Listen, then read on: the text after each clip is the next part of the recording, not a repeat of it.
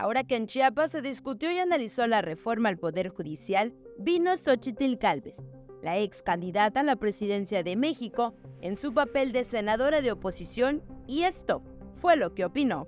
No solo es el Poder Judicial Federal, hay que entrar a las fiscalías generales de la República, a las fiscalías estatales, a los poderes judiciales estatales, la prevención del delito y pues todo lo que está viviendo Chiapas es lamentable y la protesta pues también tiene que ver con la falta de certeza, o sea, la gente no cree este, que no va a perder su empleo, entonces creo que pues en esta discusión pues los trabajadores tienen que ser una parte importante. En estos foros organizados por el Congreso de la Unión sobre la propuesta que ya fue turnada al legislativo, se plantea reducir el número de ministros de la Suprema Corte y de magistrados del Tribunal Electoral, así como que junto con los jueces sean electos por voto popular, lo que ha causado revuelo.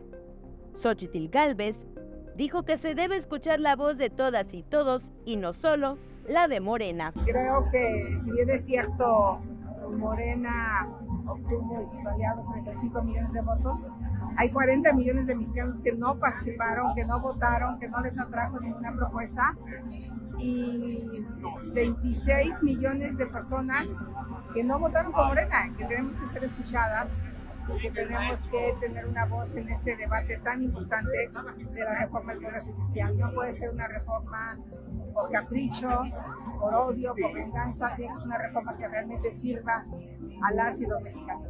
Manifestó que los foros deben ser espacios de debate, de encuentro, donde se analice y se profundice sobre el papel del Poder Judicial. Bueno, yo espero que se componga la segunda parte del foro porque la primera parte fue muy política.